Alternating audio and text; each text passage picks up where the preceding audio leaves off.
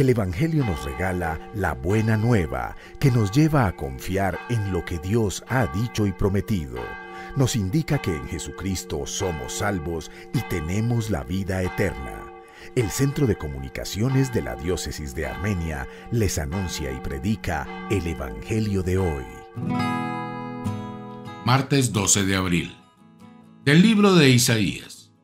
Escuchadme, islas. Atended, pueblos lejanos el Señor me llamó desde el vientre materno, de las entrañas de mi madre, y pronunció mi nombre. Hizo de mi boca una espada afilada, me escondió en la sombra de su mano, me hizo flecha bruñida, me guardó en su aljaba y me dijo, Tú eres mi siervo Israel, por medio de ti me glorificaré. Y yo pensaba, en vano me he cansado, en viento y en nada he gastado mis fuerzas. En realidad, el Señor defendía mi causa mi recompensa la custodiaba Dios. Y ahora dice el Señor, el que me formó desde el vientre como siervo suyo, para que le devolviese a Jacob, para que le reuniera a Israel. He sido glorificado a los ojos de Dios, y mi Dios era mi fuerza. Es poco que seas mi siervo para restablecer las tribus de Jacob y traer de vuelta a los supervivientes de Israel. Te hago luz de las naciones para que mi salvación alcance hasta el confín de la tierra. Palabra de Dios. Te alabamos, Señor. Mi boca contará tu salvación, Señor. A ti, Señor, me acojo. No quede yo derrotado para siempre. Tú que eres justo, líbrame y ponme a salvo. Inclina a mí tu oído y sálvame. Mi boca contará tu salvación, Señor. Sé tú mi roca de refugio, el alcázar donde me salve, porque mi peña y mi alcázar eres tú. Dios mío, líbrame de la mano perversa. Mi boca contará tu salvación, Señor. Porque tú, Señor, fuiste mi esperanza y mi confianza, Señor, desde mi juventud. En el vientre materno ya me apoyaba en ti, en el seno tú me sostenías. Mi boca contará tu salvación, Señor. Mi boca contará tu justicia y todo el día tu salvación. Dios mío, me instruiste desde mi juventud y hasta hoy relato tus maravillas. Mi boca contará tu salvación, Señor. Del Santo Evangelio según San Juan. En aquel tiempo, estando Jesús a la mesa con sus discípulos, se turbó en su espíritu y dio testimonio diciendo, En verdad, en verdad les digo, uno de ustedes me va a entregar. Los discípulos se miraron unos a otros perplejos por no saber de quién lo decía.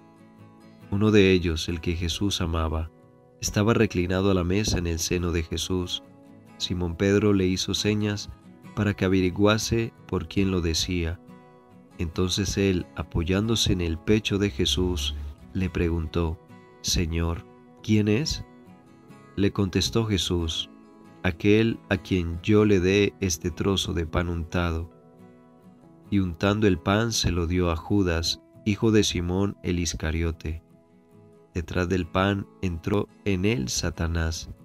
Entonces Jesús le dijo, Lo que vas a hacer, hazlo pronto. Ninguno de los comensales entendió a qué se refería. Como Judas guardaba la bolsa, algunos suponían que Jesús le encargaba comprar lo necesario para la fiesta o dar algo a los pobres. Judas, después de tomar el pan, salió inmediatamente. Era de noche. Cuando salió, dijo Jesús, Ahora es glorificado el Hijo del Hombre, y Dios es glorificado en él. Si Dios es glorificado en él, también Dios lo glorificará en sí mismo. Pronto lo glorificará. Hijitos, me queda poco tiempo de estar con ustedes. Me buscarán, pero lo que dije a los judíos se los digo ahora a ustedes. Donde yo voy, no pueden venir ustedes. Simón Pedro le dijo, Señor, ¿a dónde vas? Jesús le respondió, a donde yo voy, no me puedes seguir ahora, me seguirás más tarde. Pedro replicó, Señor, ¿por qué no puedo seguirte ahora? Daré mi vida por ti. Jesús le contestó, ¿con qué darás tu vida por mí? En verdad, en verdad te digo, no cantará el gallo antes de que me hayas negado tres veces. Palabra del Señor. Gloria a ti, Señor Jesús. Estamos ya celebrando la Semana Santa y hoy 12 de abril, martes santo, la Iglesia nos permite reflexionar acerca de este Evangelio donde Jesús vive la traición de Judas y donde le afirma a Pedro que le va a negar tres veces. Y podemos estar en el lugar de Judas, tú y yo, o podemos estar en el lugar de Pedro, que le negaremos, y cómo hemos traicionado al Señor, cómo le hemos negado tú y yo tantas veces, cuando no le reconocemos, cuando a través de nuestra debilidad, de nuestras caídas, de nuestro pecado, de nuestra falta de fidelidad y de coherencia en nuestra vida espiritual, en nuestra vida cristiana, hemos negado al Señor y no somos testigos de ese amor grande que el Señor nos ha manifestado a través de los signos visibles que tú y yo hemos tenido en nuestras vidas. ¿Cuántas veces hemos dejado al Señor Jesús solo en los momentos de sufrimiento de tribulación? ¿Cuántas veces tú y yo nos desentendemos cuando algún prójimo sufre, cuando algún prójimo necesita nuestra ayuda? Al menos escucharle, al menos asistirle. Hoy el Señor Jesús nos lleva a reflexionar en este Evangelio de cuántas veces tú y yo estamos en la noche oscura de la fe, donde no vemos al Señor, donde hemos perdido la esperanza, donde ya no tenemos fe ni confianza en el Señor. Cuántas veces tú y yo hemos negado al Señor o lo hemos vendido por esas 30 monedas con que Judas le vendió. Cuántas veces hemos traicionado al Señor dándole ese beso, donde le entregamos, donde le abandonamos donde lo negamos. Hoy en día podemos vivir este Evangelio o tal vez ser como el discípulo amado que se recostaba al pecho de Jesús, que vivía en esa intimidad y en esa confianza con Jesús. En esta semana pidámosle al Señor que nos ayude a vivir con coherencia nuestra fe cristiana, nuestra fe católica.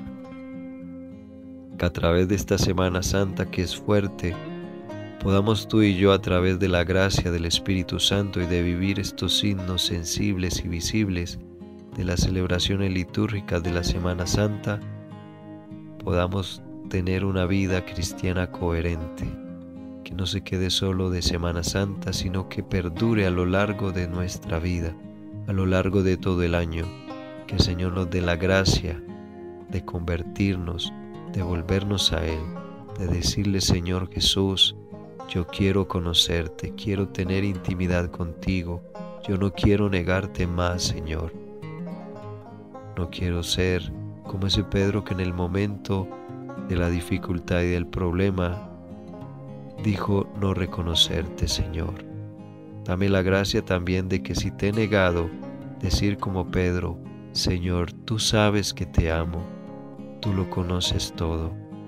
Amado Señor Jesús, que por la gracia del Espíritu Santo y por la poderosa intercesión de tu Madre Santísima que me has dado como Madre, yo pueda vivir esta Semana Santa en reflexión, en conversión, en armonía, compartir esa fe con mi familia, con mis seres queridos, que ellos puedan ver en mí la obra que tú estás haciendo, Señor, que me conviertas de corazón, que me des un corazón humilde y sencillo, que yo pueda tener un corazón contrito y humillado, reconociendo que tú eres mi Salvador, que tú eres mi Señor. Pidámosle al Señor también por aquellos que están privados de la libertad en las cárceles, que tal vez no pueden vivir estas celebraciones religiosas.